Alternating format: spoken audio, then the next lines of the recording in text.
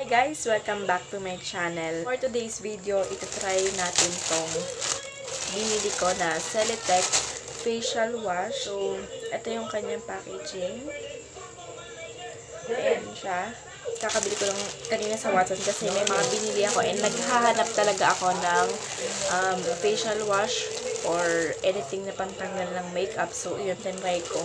Kita nyo, may mga, may kilay pa ako and may makeup pa. May pa yung face ko. So, yun, try natin siya kung mariremove niya lahat ng um, makeup ko sa face. Yun, first time ko siyang gagamitin. And, ang price nito is 89 pesos. Wet ko lang yung face ko and I'll be.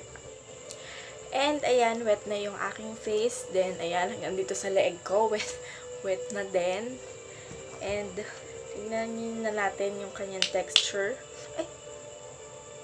May natapon agad. Ayan o.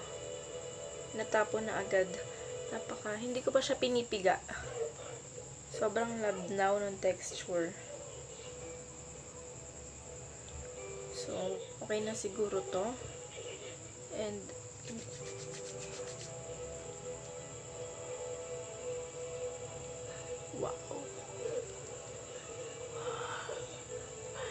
Sobrang soft sa skin. And, hindi siya ganong mabula. Hindi ganong kabula. Unlike ang ibang facial wash na na-try ko. So, sana matanggal niya yung um, makeup ko kasi talaga habol ko sa facial wash. And syempre, pampalambot ng skin and para hindi dry looking yung ating skin. So, ayan.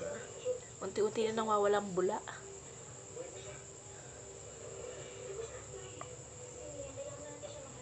So, i-update ko pala kayo kung um, kung may pinagbago ba. So, yan. Massage lang. Ayan na siya.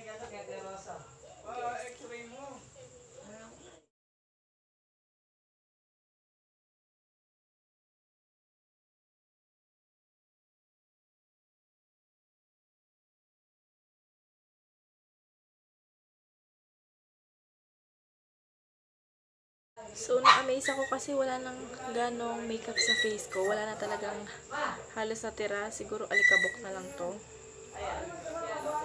Ayan o. Kaya, wow.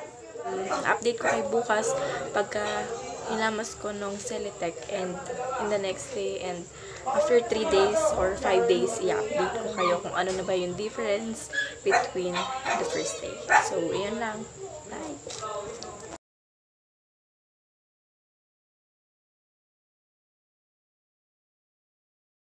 Guys, kagigising ko lang and maghilamas na ulit ako nitong Celetec.